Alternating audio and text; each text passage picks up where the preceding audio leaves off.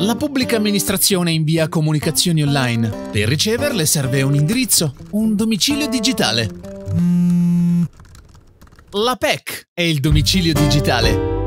Aruba PEC su aruba.it